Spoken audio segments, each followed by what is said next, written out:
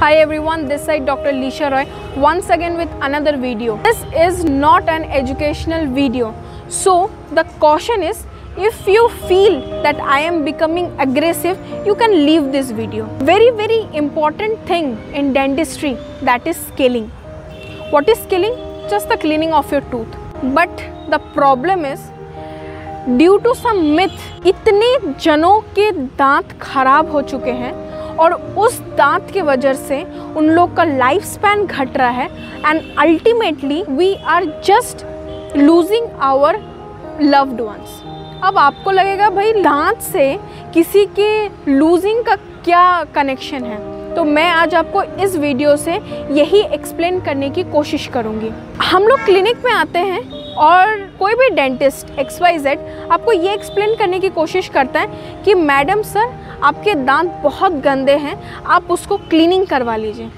पर आपको पता है बदले में जवाब ये मिलता है, नहीं, हमारे इन पड़ोसी ने ये क्लीनिंग करवाया था और हमारे दांत सेंसिटिव हो गए क्या आपको पता है उनके दांत में कितनी गंदगी थी? क्या आपको उसका पैरामीटर पता है? क्या आपको पता है आपके गंदगी के कारण आपको कितना पैसा देना पड़ेगा डेंटल ट्रीटमेंट में? सो प्लीज़ ये सारे सोसाइटी के मिथ को नहीं विश्वास करते हुए अपने टीथ को लूज़ मत कीजिए।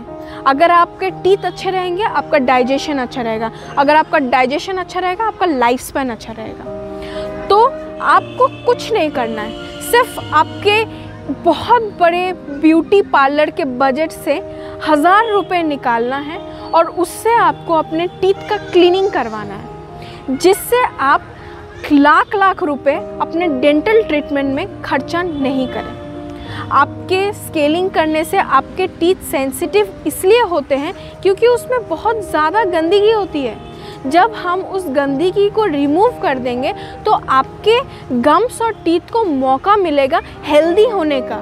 उससे क्या होगा कि आपके माउथ में से जो स्मेल है, वो अच्छा आएगा।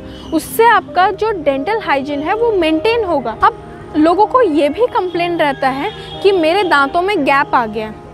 क्या आपने कभी सोचा है कि आप अपने रूम में जब सफ़ाई करते हैं और उस सफ़ाई करने से आपका रूम थोड़ा सा स्पेशियस लगता है थोड़ा सा बड़ा लगता है? ठीक वैसे ही जब मैं आपके मुँह के गंदगी को हटा दूँगी तो आपके दांत भी थोड़ा सा स्पेशियस लगेंगे। पर जैसे आप उसको सिक्स सिक्स मंथ्स में रिपीट करेंगे, जैसे नाली में कचरा साफ़ करने से अच्छे से पानी जाता है, वैसे ही गम्स का कचरा साफ़ करने से ब्लड सर्कुलेशन भी अच्छे से होगा और हेल्दी गम्स होगा और टीथ भी आपका हेल्दी रहेगा। स्केलिंग करते टाइम डेंटिस्ट से वो आपका स्केलिंग नहीं करता है, आपके एक एक टीथ को वो ध्यान से देखता है। तो उसमें आपका एक डीप रेगुलर डेंटल चेकअप भी होता है, जिससे कि आपका टीथ बहुत ही ज़्यादा हेल्दी रहता है और 80, 85, 90 ईयर्स तक आपके टीथ को कुछ भी नहीं होता है। तो आप प्लीज़ इत मिथ से उठिए कि आपको सेंसिटिविटी होता है आपको गंदगी जमा हो जाती है तो स्पेस बन जाता है आपके दांतों में आपके दांत हिल जाते हैं ऐसा कुछ भी नहीं है। दो तीन पॉइंट बस याद रखिए स्केलिंग के बाद गर्म पानी में नमक का कुल्ला सॉफ्ट टूथब्रश यूज़ करना और एंटी सेंसिटिव टूथपेस्ट यूज़ करना।